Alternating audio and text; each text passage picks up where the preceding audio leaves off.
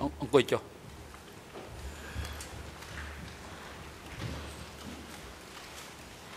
អង្គ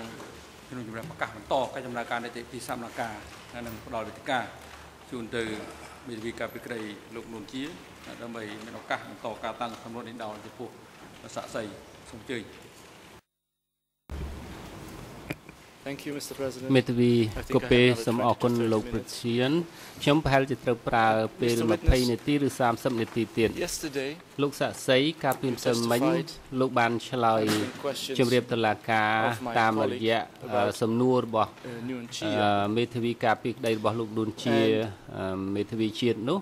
I have in front of me a, a draft ខ្ញុំមានសេច not ក្តី official ព្រៀង transcript from what happened ប្រតិច yesterday រិក I'm ដែល paraphrasing អឺ from there លោកឆ្លើយពីម្សិលមិញនោះគឺមិនទាន់ You ជាផ្លូវ said- ការទេប៉ុន្តែលោកបាននិយាយថា Yes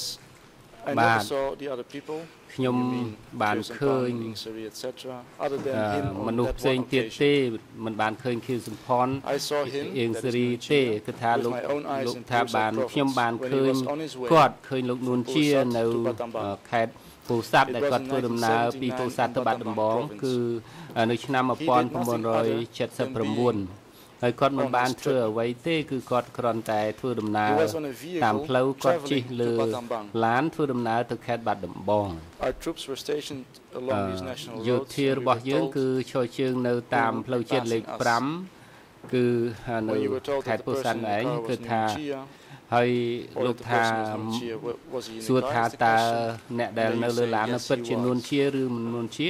លោកឆ្លើយថាពិតជានឹងមែនបាទ Now, Mr. Witness, if I លោកសាក់សី reread អឺខ្ញុំ this testimony of you of yesterday, it អាន seems ពីអ្វីដែលលោកបានឆ្លើយ that ពី you have ផ្សេងមិញ been នោះគឺ testifying ថា that លោក you បាន only ឆ្លើយបញ្ជាក់ saw ថា Nguyen លោក Chia បាន once ឃើញនួនជាលោកនួនជាតែម្ដងទេ1979នៅក្នុងឆ្នាំ when he was passing 1979 through នៅពេលដែលគាត់ធ្វើដំណើរឆ្លងកាត់ Persat province. ខេត្តពោធិ៍សាត់ Am I correct? តើត្រឹមត្រូវអញ្ចឹងដែរឬទេបាទប្រយោធាននៅប្រចាំតាមផ្លូវជាតិលេខ5ហ្នឹងគឺពូអង្គប្រាប់ខ្ញុំមុនគេប្រាប់ខ្ញុំអញ្ចឹងតែម្ដងតែ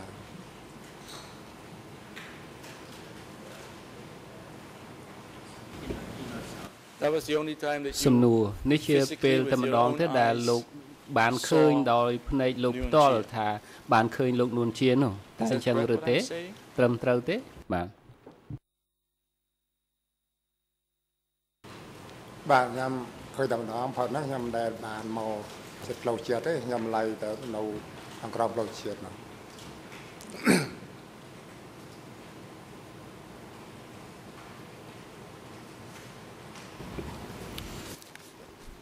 But then you have to សំណួ explain រ to me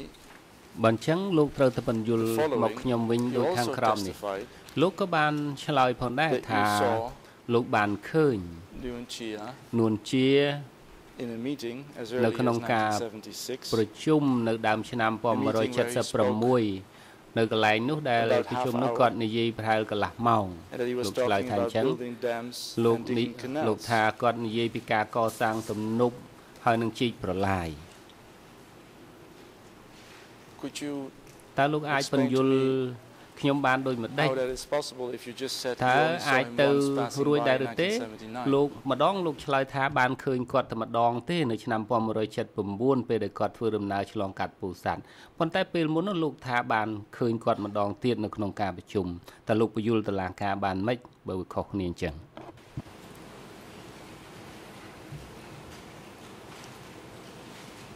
តែពេលប្រជុំវាមុន តែតែក្រោយហ្នឹងពេលក្រោយហ្នឹងផុតបាទតែប្រជុំផ្សេងតែមុនទៅ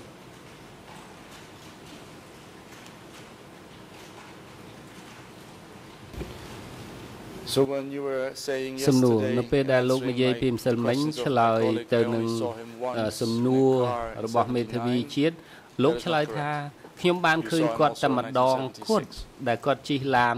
អឺឆ្លងពោធិ៍សាត់នោះលោកឆ្លើយថាតែម្ដងគត់ទេម្សិលមិញនោះ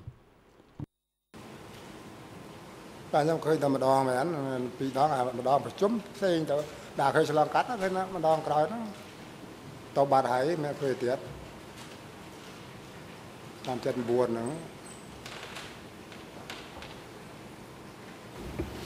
Very well. Let's go មេ back ធា to វី this បាទអញ្ចឹង one យើង time that ត្រ you ឡប់ saw ទៅ him ម្ដងពេលម្ដងដែលលោកបានឃើញគាត់ដែល during ថា half, hour, គាត់ during half an hour. អឺគាត់អឺធ្វើការ Do you ពន្យល់ remember ក្នុងអង្គប្រជុំប្រហែល The កន្លះ amount ម៉ោង of people តើលោកនៅចាំទេមនុស្ស that were ដែលស្ដាប់ present គាត់នោះដែលវត្តមាននោះ when មាន Nunchia ចំនួនប្រមាណ was speaking កន្លែងដែលលោកនួនជា about គាត់ building និយាយ dams នៅក្នុងអង្គប្រជុំថាក or សាង digging canals. អឺទំនប់ជីកប្រឡាយហ្នឹងបាទមានប្រមាណអ្នកដែលចូលរួមស្ដាប់គាត់នោះអ្នកស្ដាប់មិនមែនច្រើនមិនមែនតិចទេ ព្រោះប្រជាជនប្រជាជននេះច្រើនណាស់មិន4 10 20នាក់អីមិនលើសនឹងប្រហែល60នាក់ឯណា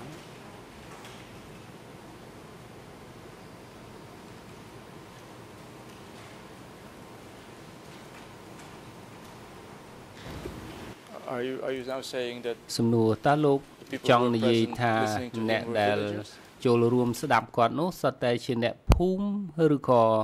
ពួកអ្នកណា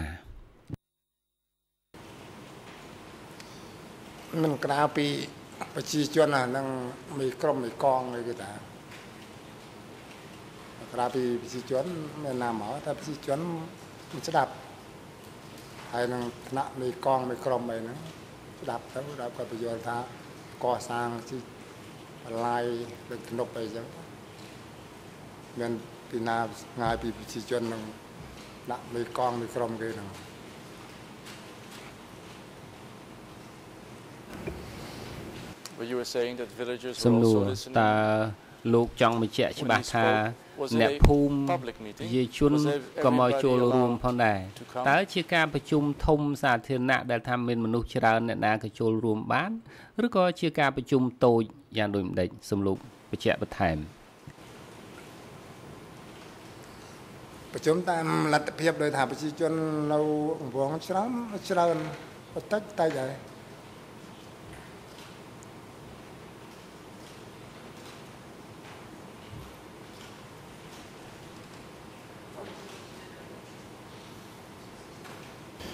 I understand, Mr. Witness, but I'm now មេធាវី trying ខ្ញុំយល់លោក to be សាក់សី specific ប៉ុន្តែ about this ខ្ញុំចង់ this និយាយ meeting ជាក់លាក់តែការប្រជុំមួយ which ដែល you លោក say និយាយហ្នឹង Nunchia spoke for half hour. ដែលលោកនិយាយថាលោក And at នួន which ជា you និយាយ say កន្លះម៉ោងនោះហើយ villagers ក្នុងនោះដែរ attended. លោកនិយាយថាប្រជាជនបានន័យថាអ្នកភូមិ Was it a public ចូលរួម meeting? ស្ដាប់ Was it តើការប្រ possible ជុំ for មួយនេះ everybody to ជា come ការ to ប្រជុំ hear what សាធារ Nunchia ណៈ had ដែល said? ថាអ្នកណាក៏ចូលរួមស្ដាប់បាន ជាមនុស្សច្រើនឬក៏ជាប្រជុំអឺរបៀបម៉េចបាទ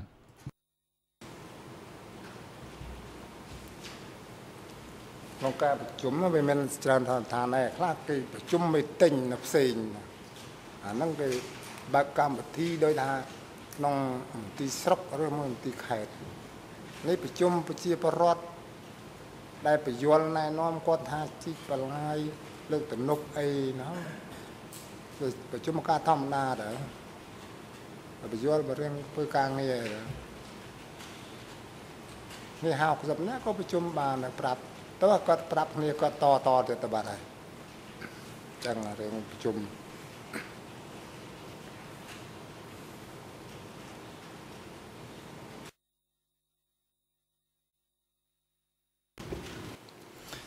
Thank you for that answer, Mr. មេធា Witness, វី but សូម I'm អរគុណលោក referring សាក់សី to ប៉ុន្តែ this very ខ្ញុំចង់និ specific យាយ meeting តែការប្រជុំមួយដែលលោកថា during which អឺ you said ដែលលោកថា yesterday បាននិយាយ that Nuon ម្សិលមិញថា spoke លោក for នួន half ជា an hour. បាននិយាយ កន្លះម៉ោង Question គឺមិន to និយាយ you is ប្រជុំណាទេគឺនិយាយប្រជុំការប្រជុំនេះឯង in respect ខ្ញុំ of ចង់ this សួរលោក specific ថា meeting, ការប្រជុំ everybody មួយ was នេះ allowed to come. តើគេអនុញ្ញាតឲ្យ including មនុស្ស villagers. គ្រប់គ្នាចូលរួមស្ដាប់បានដែរឬទេរាប់ទាំងអ្នកភូមិជាអ្នកដែលនៅ ក្នុងកន្លែងនោះផងនោះបាទរឿងប្រជុំហ្នឹងគេបើកចំហសិទ្ធទាំងអស់អត់មានខត់ខាំងទេគេបនឲ្យបានប្រជាជនមកច្រើនរដ្ឋបាល ស្ដាប់បានច្រើនចឹងរឿងប្រជុំបានដោយថាប្រជុំផែនការចឹងបានបនប្រជាជនមកច្រើនហ្នឹងរដ្ឋអច្រើនណាបើមកតិចវាថាមិនបានដឹងគ្រប់គ្នាអីពិបាកប្រាប់តគ្នាបើចឹងមកច្រើនរដ្ឋអបានច្រើនរដ្ឋល្អច្រើនមែនបាទចឹងប៉ុណ្ណឹង You were giving earlier a number សំណួរ about លោក 50, បាន60 participants in this បញ្ meeting. ជាក់ចំនួន Do you ពីមុន know- ថា do ប្រ you ហែលជា remember how many of those 50 to 50 60 60នាក់ people were បាទ villagers? ថាតើក្នុង People had just 50ទៅ come 60នាក់ដែលចូល to រួម listen នោះ to what ជាអ្នក Nuon Chia had ភូ to មិ say. ដែលដឹងថាមកស្ដាប់ក្នុងវគ្គដែល ក្នុងប្រជុំដែលលោកនួនជានិយាយសូមលោកបញ្ជាក់បន្តិចមើល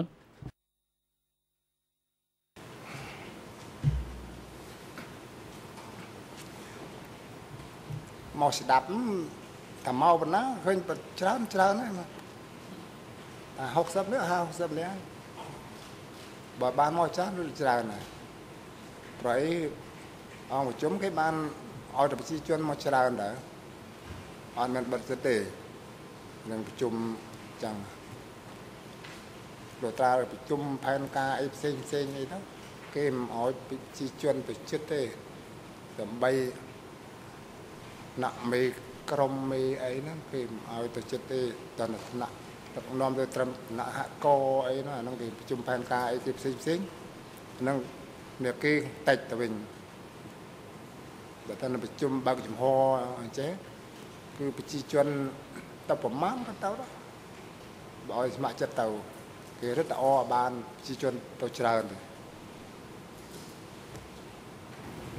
I understand, Mr. Witness, but មេធាវីខ្ញុំយល់លោកសាក់សីក៏ប៉ុន្តែខ្ញុំចង់សួរលោកថាតើ how លោក many ចាំដែរឬ of ទេ those 50 to 60 people were villagers? តើក្នុងចំណោម How many 50ទៅ people 60នាក់នោះ were CPK មានប្រមាណអ្នកជា members? អ្នកភូ Or មិ maybe were wearing ហើយក្នុងចំណោម50 60នាក់នោះមាន black clothes? មាន for ប៉ុន្មាន instance? ប៉ុន្មាន How អ្នក many ជា people were villagers and how many people were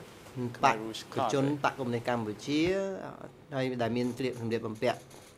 របស់គេនោះអញ្ចឹងខ្ញុំចង់ឲ្យដឹងណាចង់ដឹងតើក្នុងចំណោម50 60នាក់មានអ្នកភូមិប្រមាណហើយអ្នកមកពីបកកុម្មុយនីសកម្ពុជានោះប៉ុន្មានអូថាប្រជាជននឹងនឹងឯងមេកងហ្នឹងរំលាបបំពាក់ដូចតែគ្នាហ្នឹងគណៈហកក៏ដូចប្រជាជនដែរអត់មានអឡៃទេព្រោះអីពួកគាត់ហ្នឹង នៅរួមគ្នាក្នុងសហកមួយមួយមានរំលាបពាក់ផ្លៃគ្នាណាតែមកសហកទៅសហកណាសហកលោកអញ្ចឹងមកសហកហ្នឹងខ្លះមកខ្លះអត់ខ្លះទៅអ្នកណាទៅធ្វើការឆ្ងាយបានមកអ្នកណានៅចិត្តមកទៅអញ្ចឹងរឿងប្រជុំ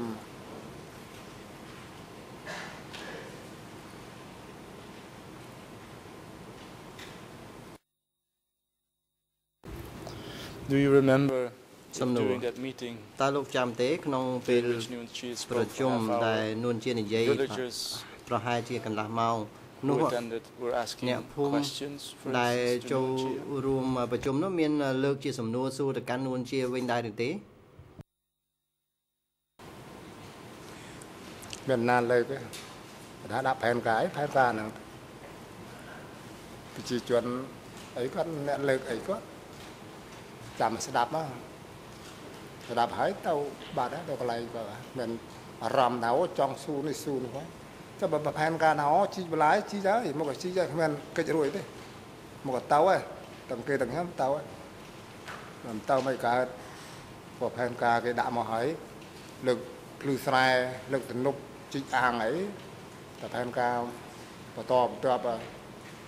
ត្រូវទៅទៅហើយមិន សំណួរសួរអីទៀតទេថាចង់សួរតែខ្ញុំទៅធ្វើមិនរួចព្រោះអីខ្វះខាតជីវភាពផងធ្វើមិនកើតអីខ្វះយ៉ាងណាក៏ត្រូវទៅទៅរឿងហ្នឹងអត់មានសួរដេញដោលទៀតទេ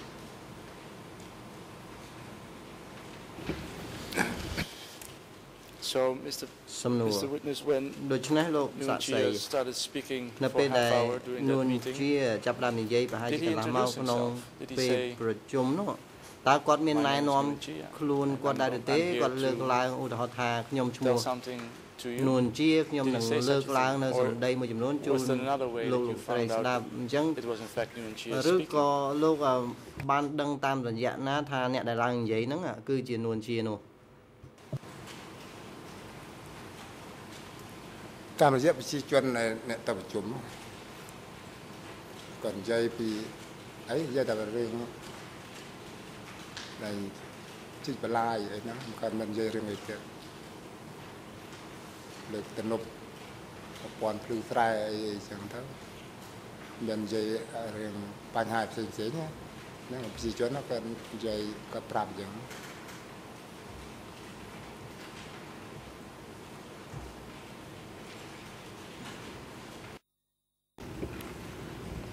But did Nguyen Chia, for instance, say,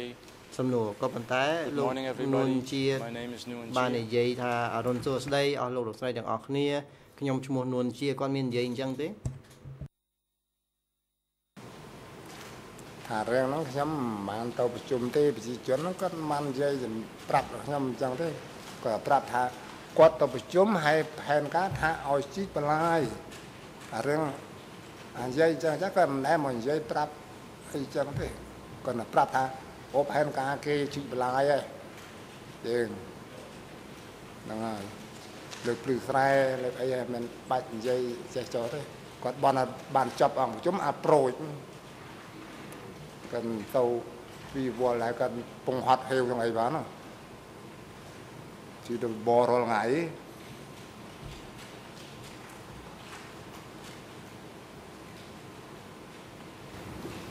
I'm, I'm, I'm, I'm a little confused, Mr. Witness. មានទៅវី I, I ខ្ញុំ thought ដូច you ជា just said ផនភាំងណានេះ that you ខ្ញុំ saw គិតថា Mr. Nguyen Chia លោក with បាន your និយាយ own eyes ថា during that លោក meeting. បានឃើញនួនជាដោយផ្ទាល់ Is it- ភ្នែ are ក you now saying ក្នុង that you just ពេលប្រជុំ heard ហ្នឹង that ក៏ he ប៉ុ was ន្តែ there? នៅពេលនេះខ្ញុំបែរជាស្ដាប់ឮលោកនិយាយថាលោកអឺឮពីគេទេថាគាត់ជាអ្នកណាអ្នកណីនោះតើអញ្ចឹងទេថាខ្ញុំមិនបានរួមប្រជុំទេឃើញឃើញហើយប៉ុន្តែប្រជាជនគាត់ប្រជុំ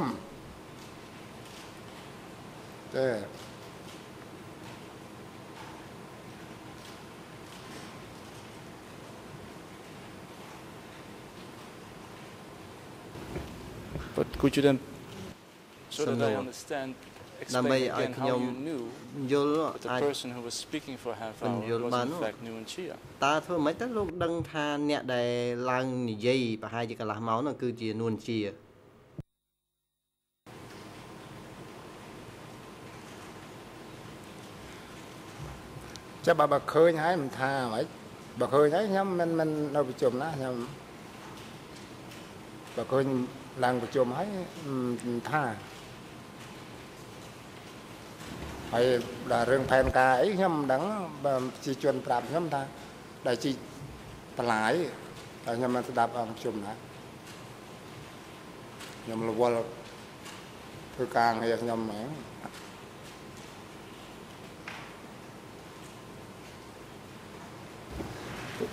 But could you please ex មេ explain the ធាវី chamber how ក៏ it ប៉ុ was ន្តែ possible សូមឲ្យលោក that ពន្ you យ didn't ល់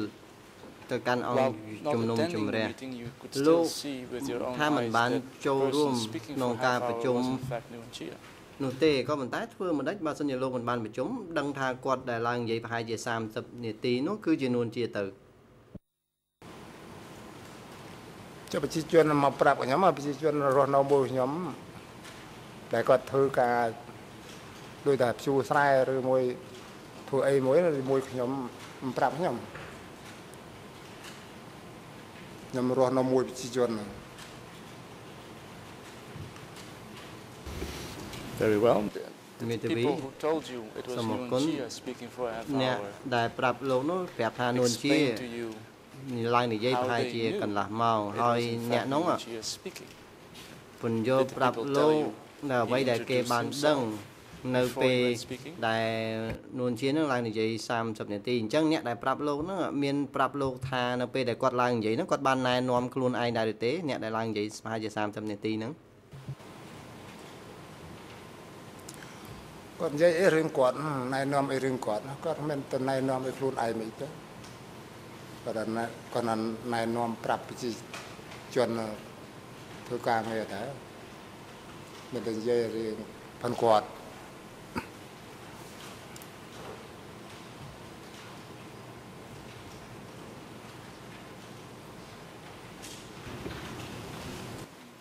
Then ធា do វី you know how the people that you spoke to ដូច្ knew នេះ it was Ta in lo- fact Nguyen Chia ដឹងទេថា who addressed them during his half-hour speech? អ្នកដែលនៅជាមួយលោកមកប្រាប់លោកថាគាត់ជានួនជាហ្នឹងអឺគឺធ្វើមិនទៅទៅថាគេដឹងនោះតើលោកដឹងទេថាគេដឹងថាគាត់ហ្នឹងគឺជានួនជាមែនដែលឡើងនិយាយនោះ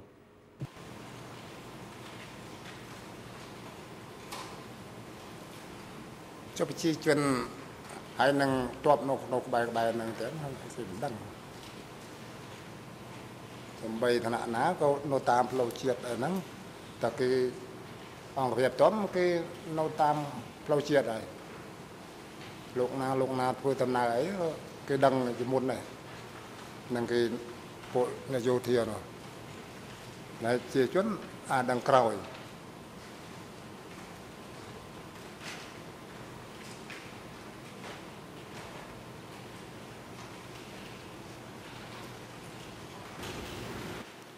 សំណួរ Mr. Witness, លោកសាក់សី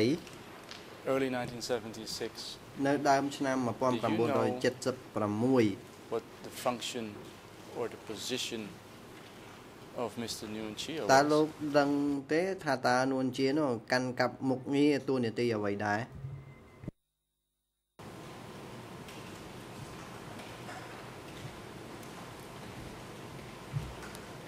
ខ្ញុំអត់បានដឹងទេ ព្រោះនៅខ្ញុំនៅវិសហករណ៍នោះអត់បានដឹង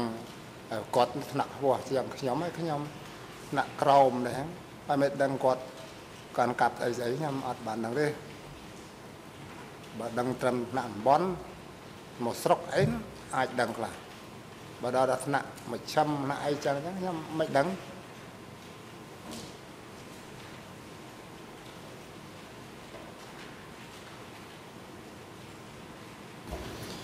Mr. Witness, do you remember when you were Maybe. speaking to the លោក investigators សាក់សីលោកចាំទេ About ថានៅ meetings. ពេលដែលលោកឆ្លើយប្រាប់អ្នកស៊ើបអង្កេតអំពីកិច្ចប្រជុំ you had trouble នាពេលនោះ recollecting លោកបានប្រាប់ The អ្នកស៊ើប name អង្កេតថា of Nuon Chia លោកអ่ะមិនអាចនឹកចាំឈ្មោះនួនជាឡើងវិញនោះទេតើលោកមាននៅចាំថាលោកបាននិយាយអញ្ចឹងទេជាមួយអ្នកស៊ើបអង្កេតខ្ញុំដែរទេមិននិយាយអីទេ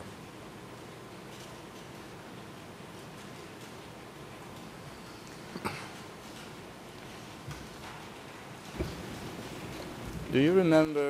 សំណួរតើលោក when you were ចាំ speaking ទេ to the investigator នៅពេលដែលលោកនិយាយជាមួយ that នឹង the អ្នកស៊ើបអង្កេត investigator was នោះ helping you a little bit អ្នកស៊ើបអង្កេតនោះបាន finding the name ជួយ Nguyen Chia? ឲ្យអឺលោកនេះស្វែងរកនឹកឃើញឈ្មោះនួនជានេះឡើងវិញ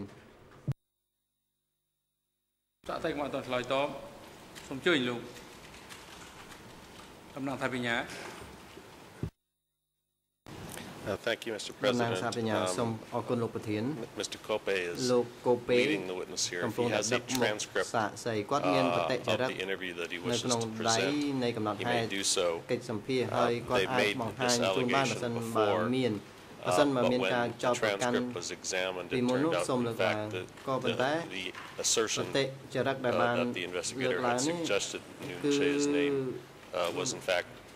ការអះអាង incorrect. ថា The អ្នកស៊ើបអង្កេត investigator did not លើកឡើងឈ្មោះនួន suggest the ជា name នោះ of Nguyen Che គឺ to ដូច the ជាមិនត្រឹម witness. ត្រូវនោះទេ But អ្នកស៊ើបអង្កេតមិនបានលើក Mr. ឡើងឈ្មោះ Copeland, នួ I ន shouldn't ជា be ប្រាប់ arguing តែ about សាក that. សី If he នោះទេ has a ខ្ញុំ transcript មិន from ត the វ៉ា interview ទេ he wants ក៏ to ប៉ុន្តែ present ប្រ to សិន the បើ witness, មាន he កំ should ណត់ do that. ហេតុនៃ But he shouldn't be ការស្ដាប់ suggesting ចម្ or លើយនោះ leading គួរតែបង្ហាញ the សាក witness សី by ជៀស characterizing វាង what កុំឲ្យ took មេ place ធាវី uh, ធ្វើ in ការ the ដឹកមុខ interview សាកសី himself. ហើយលើកឡើងចំពោះអ្វីដែលមិនបានកើតឡើងនៅក្នុងពេលស្ដាប់ចម្លើយ Mr. President, I wasn't leading at all. I was asking if មេ you ធាវី remembered លោកប្រធាន something. ខ្ញុំមិន But មែន the ដឹក point, មកទេ uh, ខ្ញុំគ្រាន់តែសួរសាកសី because ថា of ចាំ time ឬ is- មិនចាំ is- តែប៉ុណ្ណោះ I'll, I'll move on. ហើយដោយសារតែពេលវេលាខ្ញុំសូមបន្តសួរទៅមុខទៀត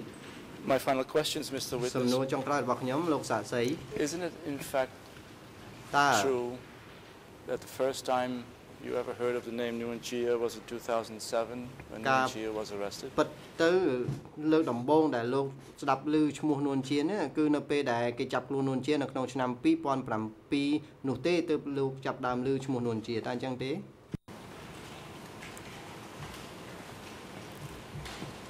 លឺមុនទៀតបើចាប់ហើយមិនណាលឺទៀតចាប់បាត់ហើយណាព្រួយ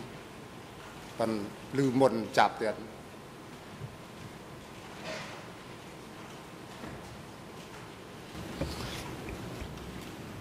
Final question, Mr. Witness. មេធាវីខ្ញុំសូមសួរ Isn't it សំណួរ true ចុងក្រោយលោកសាសីតើជាការពិតដែរឬទេ that ដែល Mr. ថា Nguyen Chia never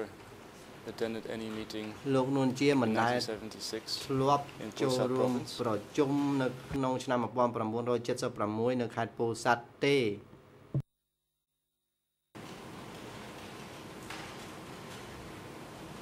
បាទខ្ញុំអត់ដឹងមែន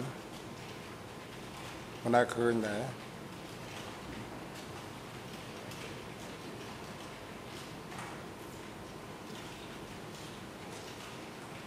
Thank you very much, Mr. Witness, for answering មេ my ធាវី questions. សូមអរ Thank you, គុណ Mr. President. ច្រើនលោកសាសីដែលបានឆ្លើយតបទៅនឹងសំណួររបស់ខ្ញុំសូមអរគុណលោកប្រធានគុណជាបន្តអញ្ញផ្ដល់វេទិកាជូនទៅក្រុមមេធាវីការពីក្តីលោកខៀវសំផនដើម្បីមានឱកាសតាំងក្នុងប្រទេសដល់ចំពោះសាស្ត្រីរំនេះ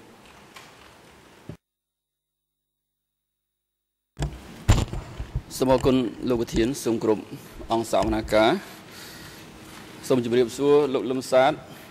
ខ្ញុំឈ្មោះគង់សំអនជាមេធាវីរបស់លោកខៀវសំផនហើយតទៅនេះខ្ញុំមានសំណួរមួយចំនួនតូចទេ ដើម្បីជម្រាបសួរលោកបន្ថែមតកតងទៅនឹងការឆ្លើយបញ្ជាក់របស់លោកកាលពីម្សិលមិញនៅពេលព្រឹកត្រង់ម៉ោង9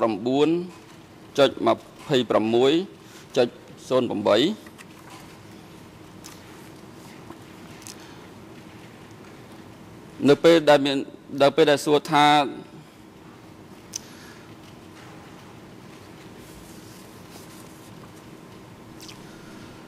ថាតើលោកមានស្គាល់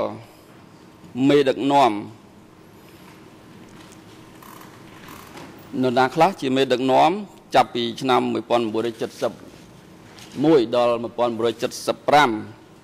ហើយលោកបានបញ្ជាក់ថាខ្ញុំបានដឹងឋានៈដឹកនាំជាន់ខ្ពស់ មានខៀវសំផនឯអ្នកកាន់តបនៅប្រទេសកម្ពុជាយើង តែប៉ុណ្ណោះសូមលោកជួយបញ្ជាក់បន្តិចមើលថាតើលោកចង់និយាយថាឯអ្នកកាន់តបលោកចង់និយាយថាជាអ្នកកាន់តបឬមួយយ៉ាងម៉េច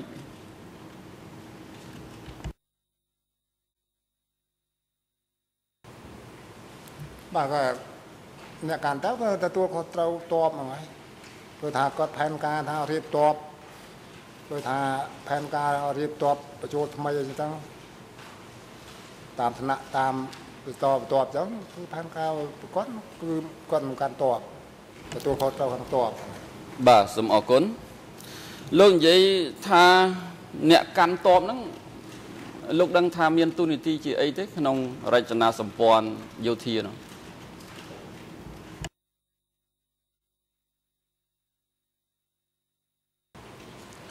បាទទទួលនទីដោយថាឥឡូវផែនការដាក់ទិសពីគាត់មកដោយថាផែនការវាយចម្រុកទីក្រុងកន្លែងណាកន្លែងណីផែនបាទសូមសូមស្កាត់លោកដោយសារលោកអត់ឆ្លើយត្រូវនឹងសំណួររបស់ខ្ញុំខ្ញុំសួរអំពីអឺទូនីតិឬខ្ញុំអាចបញ្ជាក់លោកថាជាឋានៈរបស់លោកជាសំផននៅពីឆ្នាំ1971ដល់ឆ្នាំ1975ដែលតាមចម្លើយរបស់លោកថាជាអ្នកកាន់តបហ្នឹង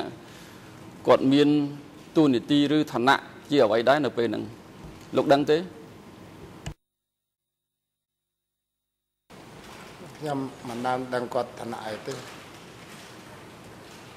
ប៉ុន្តែគាត់គ្រប់គ្រងមកប្រទេសកម្ពុជានោះម្ដងបាទសូមអរគុណខ្ញុំចង់ឲ្យលោកអឺបញ្ជាក់ថាលោកអឺតកតងទៅនឹង ការងារជាយោធារបស់លោកលោកបានអឺធ្វើកិច្ចការជាយោធាក្នុងអឺមុនឆ្នាំ1975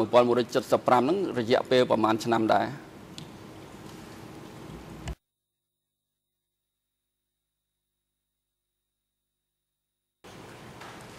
ខ្ញុំចូលបើកងទ័ពឆ្នាំ1971រ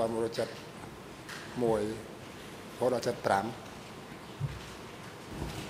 បាទសូមអរគុណចុះក្នុងឆ្នាំ75លោកមានឋានៈជាអ្វីដែរ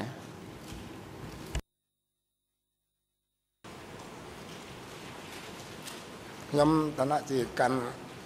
កងនោះណាតូច30នាក់កងអនុសេនាតូចលោកអាចបញ្ជាក់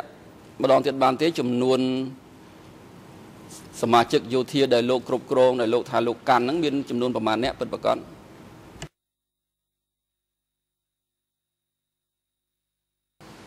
30នាក់ទាំងមេក្រុមមេពួកសរុបទៅទៅ30នាក់ជារចនាសម្ព័ន្ធខាងក្រោមលោកហ្នឹងមានមានស្អីខ្លះលោកបញ្ជាក់មិញថាមានមេក្រុមមេពួកលោកអាចបញ្ជាក់ថាអ្នកក្រោមលោកហ្នឹងគេហៅអីគេឋានៈក្រោមលោក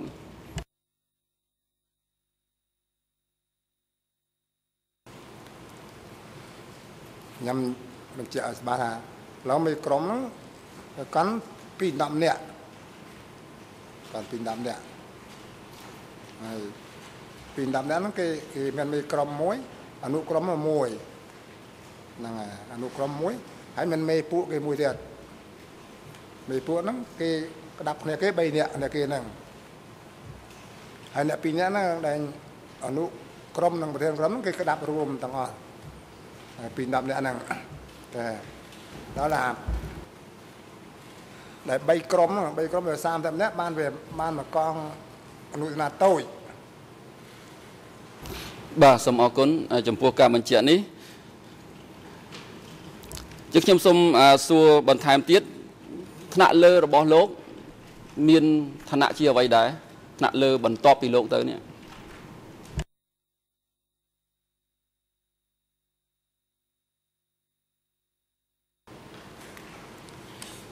ឋានៈលើខ្ញុំគឺអនុឋានៈធំគឺកាន់100នាក់3នាក់គឺប្រធានអនុប្រធានសមាជិកគឺកាន់100នាក់បាទសូមអរគុណលោកអាចបញ្ជាក់បានទេធំជាងអនុសេនាធំ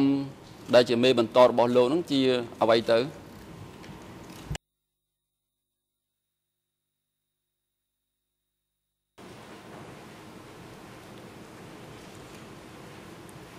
ខ្ញុំដាក់អត់ទាន់មកទេដឹងបើថាអនុណាធំហើយដល់ថាអ្វីទៅខ្ញុំដូចមិនដឹងថាម៉េចទេអ่าសំណួររបស់ខ្ញុំចាខ្ញុំសួរថាមេបន្តរបស់លោកជាអនុសេនាធំអញ្ចឹងលើអនុសេនាធំទៀតណាគេហៅអីគេបាទបាទអញ្ចឹងបានច្បាស់ ថាលើអនុណាធំគេហៅវរៈវាកាន់300នាក់វា3នាក់ហ្នឹងវាកាន់300អាហ្នឹងបានជាបានច្បាស់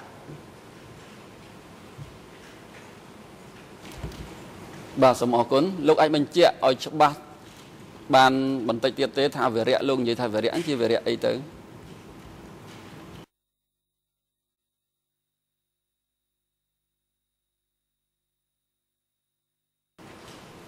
វរៈកងទ័ពហ្មងមិនវរៈជាន់ណាវរៈកងទ័ពកាន់ទ័ពហ្នឹងវាកាន់វរៈវាវាមាន300នាក់ហ្នឹងប្រធានគេគឺជាការវរៈហ្នឹងបាទលោកអាចលោកអាចអឺមានការបែងចែកអឺវិរៈកងតបរបស់លោកនឹងជាផ្នែកផ្នែកតទៀតទេ មានវិរៈអ្វីខ្លះនៅស្ថិតនៅក្នុងជួរកងតបហ្នឹងណាក្នុងរចនាសម្ព័ន្ធកងតប របស់លោកហ្នឹង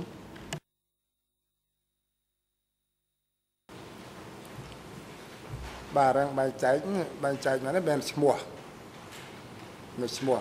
ហើយមិនមែនពួកខ្ញុំដាក់ឈ្មោះណាដាក់ឈ្មោះពីថ្នាក់លើដែរតើដាក់លើដាក់ពីថ្នាក់ដែលភូមិភាគអីចឹងភូមិភាគគេដាក់ឧទាហរណ៍ដែលក្នុងតំបន់ខ្ញុំហ្នឹងតំបន់7ហ្នឹងមានពីវរៈនាពីរចនាតូចហ្នឹង វាមានលេខវាលេខអាវរៈនា1 202អាមួយ201អា201គេរៀបមុនគេអាហ្នឹងរៀនស្បងគេបាទបាទសូមអរគុណមិញលោកមានប្រសាសន៍អំពីអឺវិរៈសេនាតូចអញ្ចឹងមានថាលើកងអនុសេនាធំហ្នឹងមានវិរៈសេនាតូចអញ្ចឹងមែនទេសូមលោកជួយឆ្លើយម្ដងទៀតលើអនុណាធំហ្នឹងមាន កងវរៈណាតូចបាទសូមអរគុណចុះធំជាងកងវិរៈសេនាតូចហ្នឹងពីលើកងនឹងទៀតទៅអាហ្នឹងវាហៅកងពលតូចវិញវា3វរៈសនាតូចហ្នឹងវាបានមកកងពលតូចបាទសូមអរគុណចុះលើកងពលតូចទៀត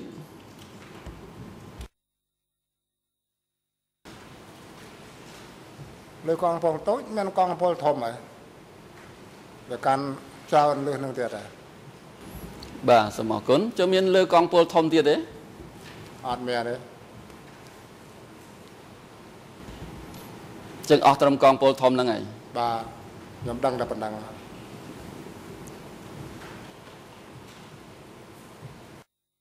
បាទសូមអរគុណលោកដែលឮពាក្យថាអគ្គមេបញ្ជាការដែរ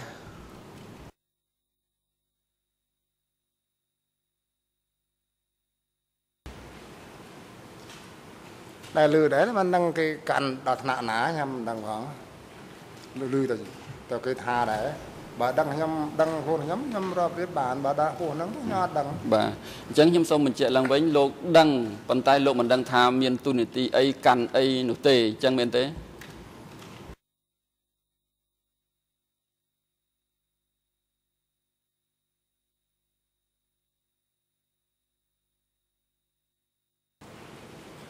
ចឹងខ្ញុំអត់ដឹងខ្ញុំដឹងគាត់ថ្នាក់ខ្ពស់ហើយខ្ញុំអត់ដឹងបាទសូមអរគុណត្រឡប់មកនិយាយពីលោកខៀវសំផនវិញព្រោះលោកបាននិយាយអំពីលោកខៀវសំផនកាលពីម្សិលមិញខ្ញុំចង់សួរបញ្ជាក់ថាតើលោកបានឮឈ្មោះខៀវសំផននេះ នៅពេលណា និងដោយរបៀបណាដែរ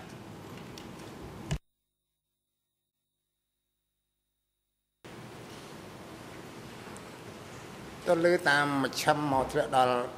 ដែនភូមិភាគហ្នឹងមិនដឹងបើគាត់ថ្នាក់លើបន្តបន្ទាប់មករហូតដល់ក្រោមហើយពីលើបញ្ជាមកក្រោមហើយពីក្រោមបន្ទាប់គាត់បញ្ជាមកក្រោមក្រោមទៀតហើយមកដល់ដាក់ក្រោមមកដែរបាទសូមអរគុណលោកខ្ញុំសូមកាត់ឲ្យខ្លីដោយសារទីមួយខ្ញុំចង់បញ្ជាក់ថាលោកឮនៅពេលណា បាទអាចចាំឆ្នាំក៏បានដែរ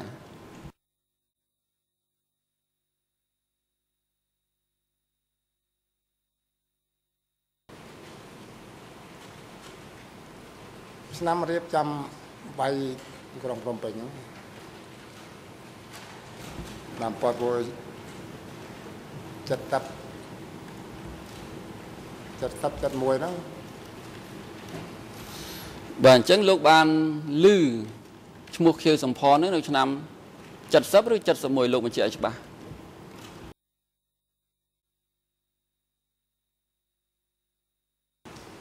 ឬ31 បាទសូមអរគុណលោកឮតាមរយៈនរណាឬក៏អ្វី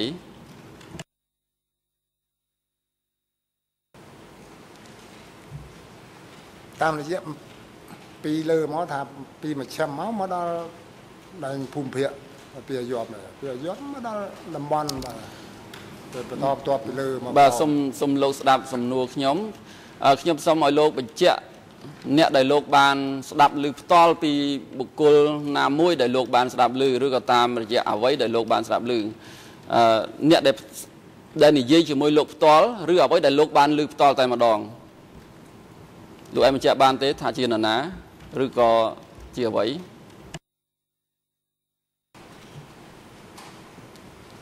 ជាការប្រយ័ត្នខ្ញុំផ្ទាល់ហើយ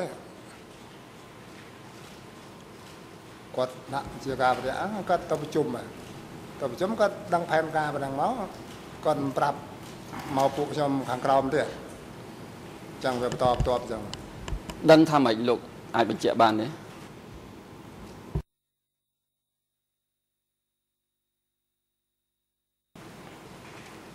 ដឹងថារៀបផែនការឆ្នាំ1971ហ្នឹងចាប់ផ្ដើម វាយចូលទៅទៅដល់កន្លែងណាកន្លែងណីអញ្ចឹងថារៀបចំគ្រប់កម្លាំងទាំងអស់គ្នាទៅគ្រប់ខេត្តគ្រប់តំបន់ទៅអញ្ចឹងលោកដឹងសូមបញ្ជាក់ឡើងវិញលោកដឹងនៅឆ្នាំ1971អញ្ចឹងមែនទេពីពីអឺមេបញ្ជាការវិរៈរបស់លោកលោកចង់សំដៅដល់វិរៈសេនាតូចអញ្ចឹងមែនទេ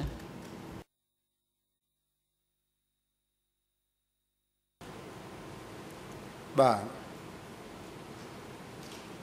បាទសូមអរគុណនៅឆ្នាំ1971ពេលដែលលោកចូលភ្លាមលោកមានឋានៈជាអ្វីដែរនៅក្នុងហើយកងយោធានោះខ្ញុំឋានៈយុទ្ធជនគេហ្នឹង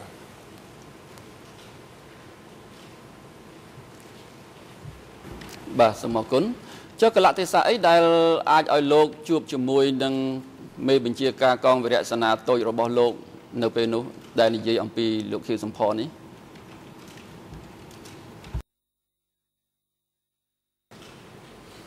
ពួកខ្ញុំចុះជាប់រហូតមេខ្ញុំដើម្បីកូននៅតាណានៅតាទាំងអស់គ្នា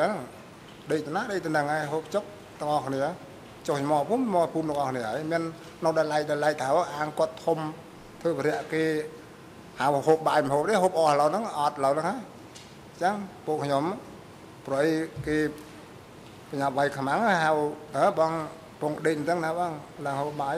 ទៅដេកជាទីរត់ស៊ីយ៉ែខ្ទេចអស់ឥឡូវហ្នឹងម្ល៉េះគាត់អញ្ចឹងគាត់ប្រជុំប្រាប់ពួកខ្ញុំអញ្ចឹងថាណាហៅហូបបាយមិនហូបហូបអស់ទេហ្នឹងគាត់រៀនទៅអញ្ចឹងម្ល៉េះគាត់អឺសំកាត់លោកតើលោកពេលដែលលោកមេបញ្ជាការរបស់លោកបញ្និយាយពីខៀវសំផនប្រាប់លោកហ្នឹងនិយាយប្រាប់តែលោកម្នាក់ឯងឬក៏និយាយប្រាប់អ្នកដទៃទៀតដែរ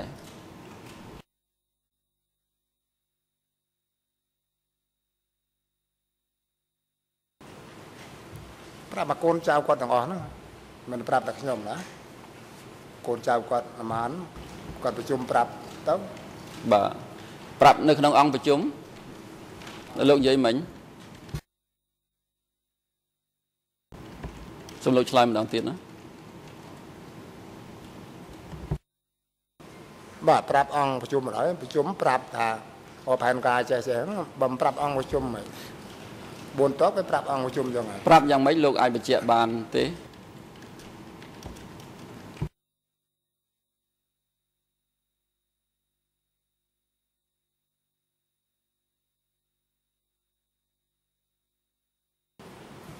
ប្រាប់ថាផែនការវាយខ្មាំងហ្នឹងហើយប្រាប់អីទៀត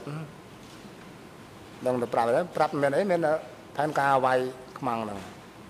អត់មានក្រៅថាអូទៅ ជួស្រែទៅអីណា4តបវាយខ្មាំងហើយបាទសូមអរគុណអញ្ចឹងប្រជុំប្រាប់ពីផែនការវាយខ្មាំងលោកឆ្លើយមិញអញ្ចឹងត្រឹមត្រូវទេហើយលោកមេបញ្ជាការរបស់លោកមានប្រាប់អីទៀតទៅលោកទេ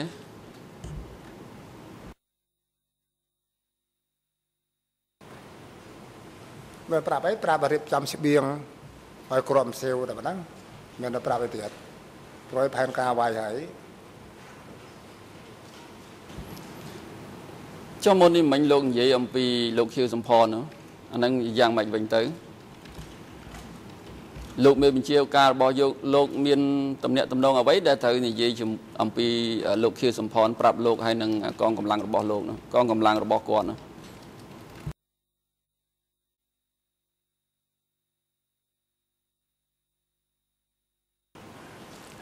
មានតំណែងនងអីគឺផែនការពីពីលើមកហើយបាច់តំណែងនងទៅទៀត ត្រូវទៅទៅហ្នឹងមកគេឲ្យទៅហើយមិនទៅមិនមិនបាច់តំណែងនងអីបើថាឧទាហរណ៍ដូចលោកអញ្ចឹងហើយគេថាផ្ញើជីបុតឧទាហរណ៍ថាផ្ញើជីបុតឲ្យលោកទៅដល់កន្លែងលេងនោះកន្លែងនោះមកក៏ទៅហើយនេះចឹងដែរនេះថាផែនការថាវាយហើយវាយអត់មានបាច់តំណែងនងទៀតរៀបចំយើងរៀបចំថាយើងក្បួនទៅទៅរៀបចំបាទសូមអរគុណខ្ញុំចង់សួរបញ្ជាក់ចំណុច ជាក់លាក់មួយតើលោកធ្លាប់បានចូលរួមប្រជុំជាមួយលោកខៀវសំផនទេក្នុងសម័យតស៊ូពីឆ្នាំ1971រហូតដល់ឆ្នាំ1975បើថាមុនរំដោះភ្នំពេញ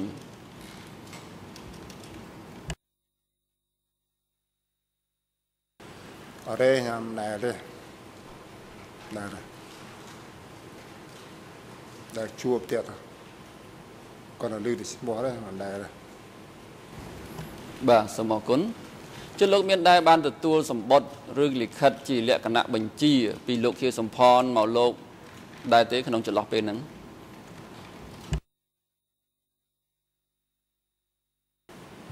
ថាដែលអត់ដែលហើយដែលទេដែលទេ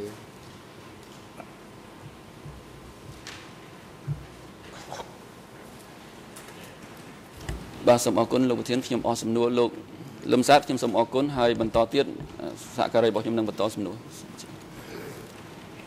អរគុណសូមអញ្ជើញ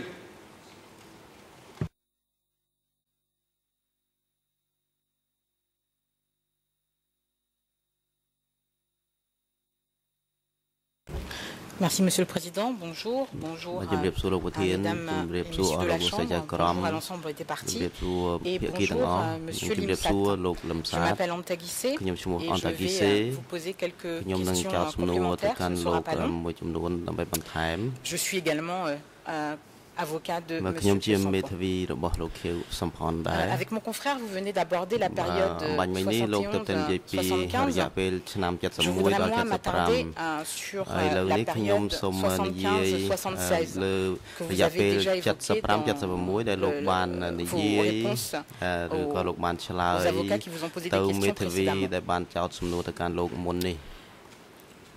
Ma première question est euh, relative au poste que vous avez indiqué avoir occupé euh, de responsable de la population de la commune de Sia dans le district de Kanding. Je me réfère à votre déclaration devant les enquêteurs du bureau des coachs d'instruction à la référence E3 barre 364 364 en français ជាភាសាបារាំង 00 EIN គឺ00 282 258 Le RN en khmer 218 EIN ជាភាសាខ្មែរគឺ 00 00 242 24 4 22 24 Et en anglais 22ជាភាសាអង់គ្លេសគឺ00 250 250 Vous avez indiqué en 1976, le comité de la région Sot et le comité du district de Batang qui m'avait muté de l'unité militaire à l'unité mobile en qualité de chef de cette unité. J'étais responsable de la population de la commune de Sia, district de Kangdang, composé de cinq coopératives pour les faire travailler dans le creusement des canaux et l'élévation des diguettes sur l'ordre du chef du comité de district. Et ce chef du comité de district s'appelait Seth. Ça, c'était pour vous rappeler vos déclarations. la première question est de savoir si vous pouvez expliquer à la Chambre quelle était l'organisation au niveau de la zone ouest. Vous avez indiqué dans cette déclaration que vous receviez euh, vos instructions du comité du district. Est-ce que je dois comprendre តើខ្ញុំត្រូវ que le យល់ comité de district Tha était Kana juste Srok. au-dessus de la commune អឺជាគណៈដែលនៅពីលើគណៈនៃឃុំបន្តិចអញ្ចឹងមែនទេ បាទណាក់ឃុំឬណាណាក់ស្រុកហ៎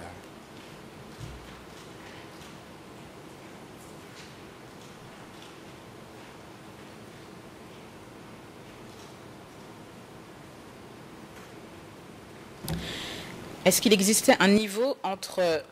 តើមាន le comité de commune ថ្នាក់ et ណា le មួយ comité de district គឺថាចន្លោះគណៈឃុំហើយនិងគណៈស្រុកនេះមាននៃថ្នាក់អីមួយទេ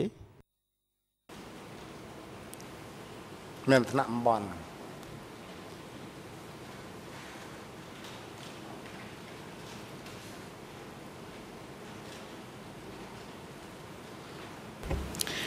Et au-dessus du comité de secteur, qu'y avait-il ហើយនៅលើគណៈតំបន់នេះមានអ្វីដែរ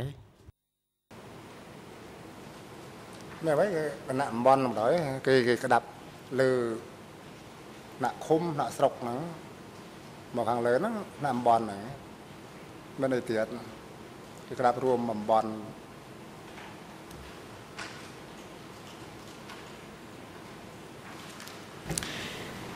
Et qu'en est-il du comité de la région? Est-ce qu'il Ah, était ah, au-dessus du comité de secteur? គ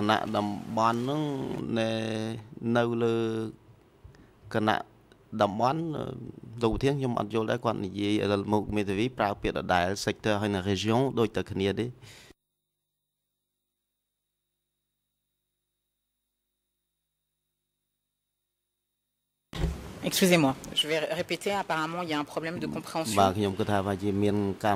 l'extrait de votre déclaration que j'ai citée, vous avez évoqué le comité de la région dirigé par Sot. Ma question est de savoir si le comité de la région est au-dessus du comité de secteur. secteur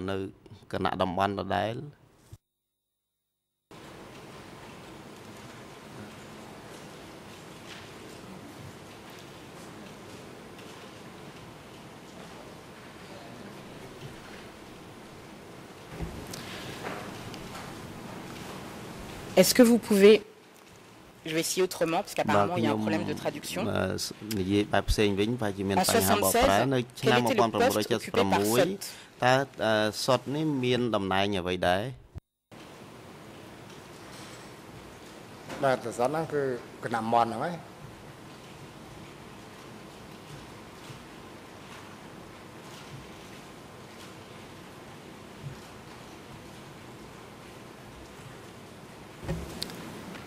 Et 7 était au comité de district. C'est bien ça.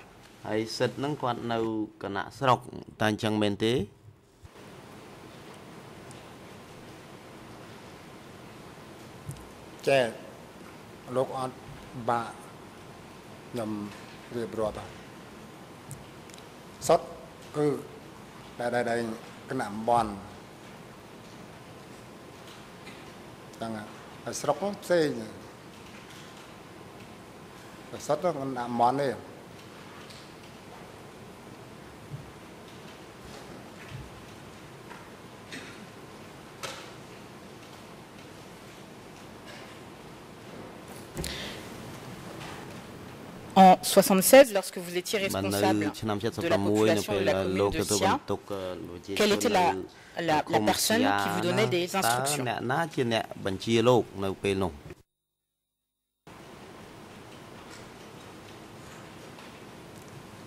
ថ្នាក់មន់ហ្នឹងគឺថ្នាក់លើមិនជាឲ្យខ្ញុំក្រោមមន់មកស្រុកស្រុកបានមកឃុំឃុំមកតាមសហករណ៍ហ្នឹងដែរ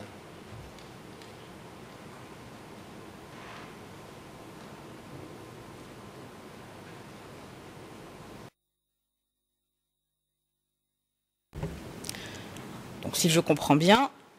même si les ordres venaient du comité de secteur, vous, personnellement, vous les receviez du comité de district. C'est bien ça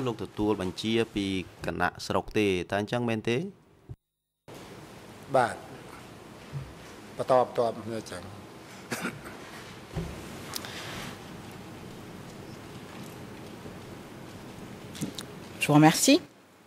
បាទខ្ញុំសូម Ma អរ question គុ est ណ de savoir បាទសំ à ណួរ quelle ខ្ញុំខ្ញុំចង់ fréquence ដឹងថាតើលោ vous ក rencontriez le comité de ជួប district អឺគ et ណៈ vous receviez ស្រុ vos ក consignes. អឺញឹកញាប់ Est-ce ប៉ុ que ណ្ណា c'était ដើម្បីទទួលបញ្ tous ជា les នោះ jours តើ Est-ce que ជួប c'était អឺរាល់ toutes ថ្ងៃ les semaines ឬក៏ Est-ce que vous រាល់ pouvez ស indiquer ប្តា cette ហ៍ fréquence តើលោកអាចបញ្ជាក់ពី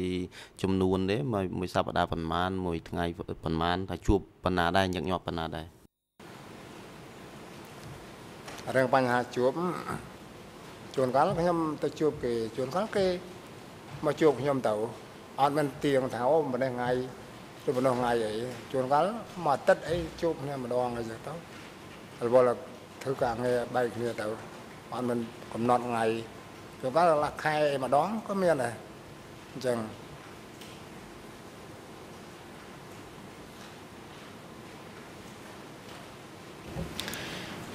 Vous avez indiqué que vous étiez un Bah, donc, responsable bah, c'est là, là, euh, de euh, la commune de Sien et qu'il នៅ y avait ទួល cinq ក៏ត្រូវ coopératives. នៅឃុំសៀហើយ Est-ce នៅ que ក្នុងនោះមានសហគមន៍ euh, il y avait des 5 responsables au niveau de chaque តើ coopérative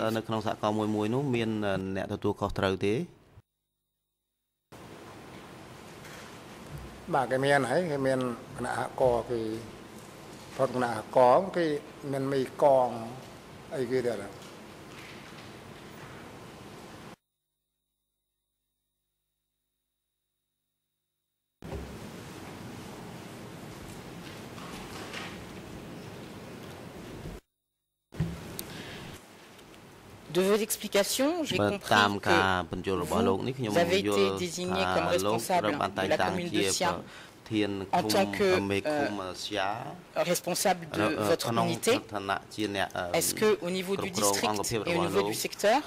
c'était également des militaires qui étaient en charge?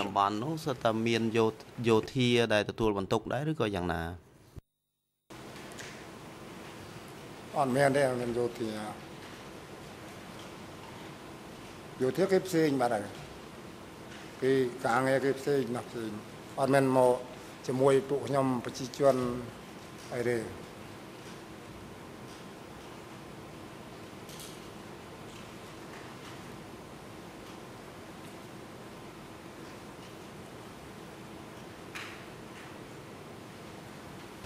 Donc, quand vous dites បាទដូច្នេះនៅ euh, ពេលដែលលោកនិយាយ que vous ថា avez été muté de អឺ l'unité លោកបាន militaire បដូរ à ពី l'unité អង្គភាពយោ mobile ធាទៅ en qualité អង្គ de ភាព chef de ចល cette នា unité, ក្នុងឋានៈជាប្រ vous ធាន n'êtes plus អង្គភាព militaire à ចល ce នា moment-là. ពេល C'est ça នោះ que លោ on ក doit comprendre. លែង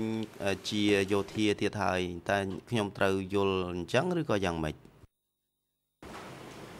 បាទខ្ញុំចេញពីយោធាហើយមកកងឆ្លាតហើយមានអីសិនយោធាទៀត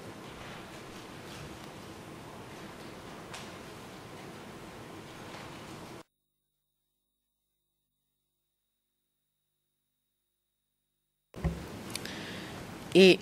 dans vos activités civiles, នៅក្នុងសកម្មភាព Est-ce ជា que, ជន euh, ស៊ីវិលរបស់លោក je dois. euh, Est-ce que vous avez toujours exercé vos activités តើ au sein de la zone ouest លោ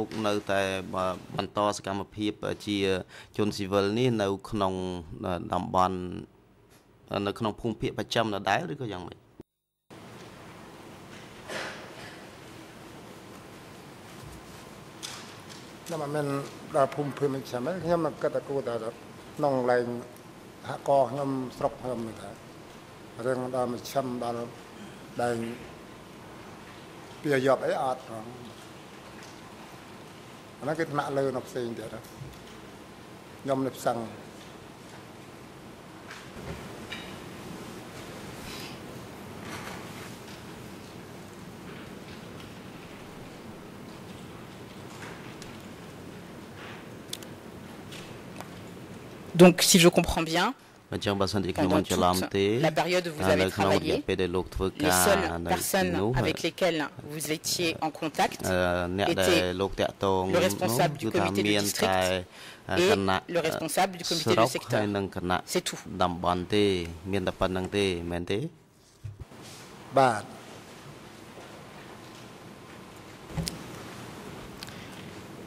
Et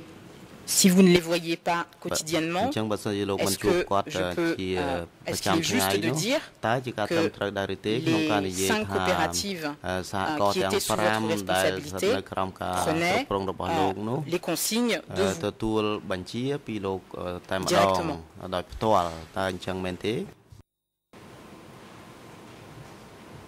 បាទអញ្ចឹងមែនហើយអត់មាន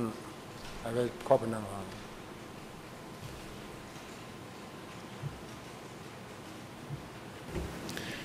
Un dernier point et j'en aurai terminé. បាទខ្ញុំនេះជាចំណុច Dans ចុ le ងក្រោយ cadre បន្ de ទាប់ la មកខ្ញុំសូ gestion មបញ្ចប់ euh, des coopératives អឺនៅក្នុង et ការ de la គ្រប់គ្រង manière សហ dont គមន៍ euh, les euh, personnes qui travaillaient au sein de ces coopératives ហើយ étaient នឹងរបៀ nourries បអឺដែល qui អឺប្រជាជនក្នុងសហគមន៍នោះទទួលរបបអាហារ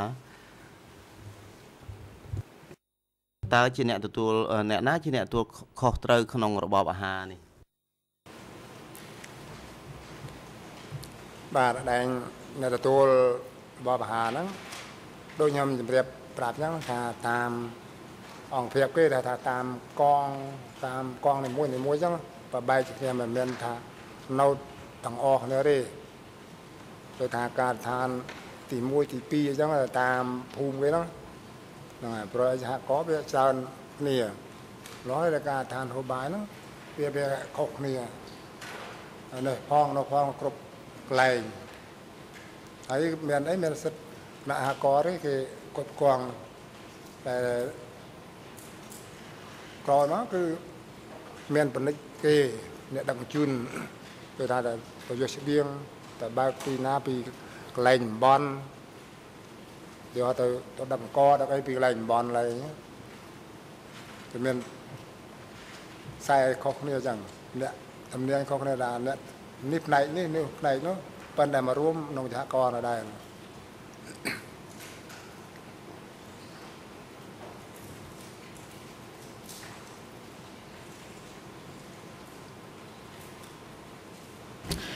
Je vous remercie de ces précisions, monsieur បាទ le សូម témoin. អរ Et គុណ monsieur ដែល le បាន président, ឆ្លើយ j'en aurai បញ្ជាក់ terminé. អឺបាទលោកប្រធានខ្ញុំចប់ហើយហើយសូមអរគុណលោកប្រធានអរគុណ បាទសមនការថ្ងៃនេះដល់ពេលសម្រាប់ហើយអង្គជំរះប្រកាសផ្អាកកិច្ចដំណើរការសមនការសម្រាប់ថ្ងៃនេះត្រឹមនេះហើយសមនការលើកទៅបន្តធ្វើនៅថ្ងៃច័ន្ទទី6ខែឧសភាឆ្នាំ2013ចាប់ផ្ដើមពីម៉ោង9ព្រឹកទៅថ្ងៃថ្ងៃច័ន្ទដើមសប្តាហ៍ក្រោយនេះអង្គជំរះនឹងធ្វើសមនការស្ដាប់តក្កកម្មអ្នកជំនាញភីលីបសតដែលនឹងត្រូវតាំងសម្រួលដេញដោលដោយចក្រមនៃអង្គជំរះមុនភាគីដទៃទៀតនៃរឿងក្តីហើយបន្ទាប់មកសហប្រញ្ញារួមនឹងសហមិត្តវិនមុខតំណាងដើមដឹងរដ្ឋប្រវិនី ដែលមានរយៈពេល3វគ្គហើយនឹងបន្តមកទៀតសហមិត្តវិការពីក្តីទាំងពីរក្រុមក៏មានរយៈពេលរួម3វគ្គនៃថ្ងៃសកម្មភាពដែរក្នុងការសួរសូមភាគីពាក់ព័ន្ធនៃតំណរឿងក្តីនេះនិងសាធារណជនជ្រាបលោកលឹមសាទការស្ដាប់តក្កកម្មលោករហូតមកដល់ពេលនេះបានចប់ហើយហើយវត្តមានរបស់លោកនៅអវតកនេះលែងមានភាពចាំបាច់ទៀតហើយ អង្គជំរះសូមអរគុណលោកលំសាទដែលបានលះបង់ពេលវេលាដ៏មានតម្លៃមកចូលរួមនឹងផ្ដល់តក្កកម្មចំពោះមុខអង្គជំរះក្នុងរយៈពេលមួយថ្ងៃកន្លះកន្លងមកនេះដោយភាពអត់ធ្មត់អស់ពីនឹងខិតខំប្រឹងប្រែងអស់ពីសមត្ថភាពលទ្ធភាពរបស់ខ្លួនសក្ខីកម្មរបស់លោកនឹងអាចរួមមកភាគទានក្នុងការស្វែងរកការពិតនៅរឿងក្តីនេះសូមជូនពរលោកមានសុខភាពល្អដែលជួបតែតំណែងល្អនិងបានក្តីសុខក្តីចម្រើន មន្ត្រីរដ្ឋបាលតុលាការទ្រាំរួចជាមួយនឹងមន្ត្រីនៃអង្គភាពកងពាសាក់សីនិងអ្នកជំនាញក្នុងការបញ្ជូនសាក់សីលឹមសាទត្រឡប់ទៅកាន់គោលដៅណាដែលគាត់មានបំណងចង់ទៅឬក៏ទៅកាន់រំលើឋានរបស់គាត់វិញបានហើយអនុរិយមន្ត្រីឃុំឃាំងក្នុងខ្លួនជនជាប់ចោតទាំងពីររូបគឺលោកខៀវសំផននិងលោកនុនជាត្រឡប់ទៅកាន់មន្ត្រីឃុំឃាំងនៃអវតកវិញចុះនិងប្រកបឲ្យនងខ្លួនពួកគាត់ទាំងពីររូប ត្រឡប់មកចូលរួមក្នុងសកម្មភាពនេះវិញនៅព្រឹកថ្ងៃច័ន្ទទី6ខែឧសភាឆ្នាំ2013ឲ្យបានមុនម៉ោង9ព្រឹកដោយឡែកលោកនួនជាប្រកបឲ្យនងខ្លួនគាត់មកនៅត្រឹមបន្ទប់ឃុំខ្លួនខាងក្រោមដែលរៀបចំនៅឧបករណ៍សោទស្សន៍សម្រាប់គាត់អាចចូលរួមនឹងតាមដានកិច្ចដំណើរការសកម្មភាពពីចម្ងាយតាមរយៈឧបករណ៍សោទស្សន៍សម្រាប់ចុះសូមជ័យក្រោកឈរ